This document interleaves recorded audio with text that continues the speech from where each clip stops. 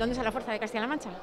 La fuerza de Castilla-La Mancha está en un partido socialista que sabe que por delante de los intereses del propio partido están siempre los intereses de los ciudadanos. El objetivo de que vivamos mejor como comunidad autónoma todos sus hombres y sus mujeres, que tengamos nuevas oportunidades, que progresemos, que modernicemos nuestra economía, todo eso que lo posibilita hoy es el Partido Socialista y a través de él Emiliano García Paje. Y un Partido Socialista que celebra un congreso que sale, del que se sale más reforzado, con líder indiscutible. Salimos muy reforzados, salimos muy unidos y desde luego sin que nadie discuta que Emiliano es un líder del partido, pero es sobre todo un líder social. Y es más importante esto, que tiene el reconocimiento de la ciudadanía, de los que le votan, por supuesto, pero también de los que no le votan. Y en un líder de un partido está bien que le sigan sus militantes, que le apoyen, eso es imprescindible, pero es más importante que tenga siempre el apoyo social. Y Emiliano lo demostró hace muy poco tiempo en las últimas elecciones y lo demuestra cada día en el afecto y el cariño que recibe la gente por la calle. Nos decían ayer los presidentes Bono y Barreda que casi el PSOE de Castilla-La Mancha es un partido regionalista. Se ha hablado mucho de regionalismo en este Congreso. Sí, nosotros somos un partido claramente eh, de izquierdas, socialdemócrata. Eh, nos identificamos y nos sentimos tremendamente orgullosos de representar en esta región las siglas del PSOE y de lo que significa la internacional socialista a nivel mundial, pero es verdad que nosotros tenemos un principio que es que por delante del PSOE Castilla-La Mancha, por encima del PSOE Castilla-La Mancha y siempre Castilla-La Mancha. Y eso significa que se puede ser socialista y al mismo tiempo defender los intereses de nuestra región por encima de cualquier otro interés. Por tanto, somos el partido de Castilla-La Mancha, el Partido Socialista.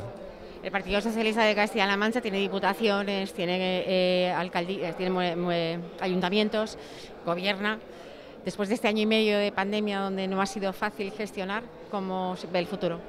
Bien, bueno, yo creo que hemos resuelto un enemigo desconocido, una situación absolutamente novedosa a la que se han enfrentado desde todos los gobiernos, los alcaldes, las alcaldesas, diputaciones, y lo hemos hecho a pesar de la gravedad lo hemos hecho yo creo que con, con, mucha convicción de que había que proteger la vida de nuestros paisanos al mismo tiempo que protegíamos la economía. Y en este sentido creo que es un buen ejemplo lo que está ocurriendo una vez que ya prácticamente tenemos, aunque nunca se puede decir que del todo, pero tenemos muy controlado el virus, lo cierto es que estamos en una situación en la que la economía está repuntando y lo está haciendo con mucha fuerza. Y creo que vamos a estar en mejores condiciones desde el punto de vista de generación de empleo y riqueza que incluso las que teníamos antes de que llegara el virus. En este sentido, nunca hubiéramos deseado afrontar una pandemia, pero ahora sí que tenemos claro que hay que aprovechar las oportunidades y que haremos de la necesidad virtud para situar a nuestra región en el primer lugar de desarrollo económico y de generación de empleo. ¿Cómo ve el futuro de Castilla-La Mancha?